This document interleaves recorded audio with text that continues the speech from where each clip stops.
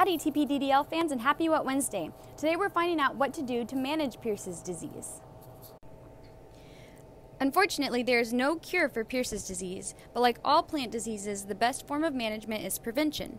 To prevent Pierce's disease, choose grape varieties that show some resistance to Xylella fastidiosa, subspecies fastidiosa.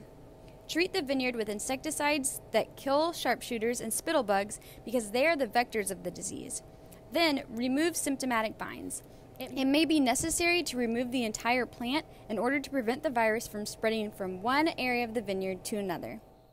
Join us next week for a Christmas special.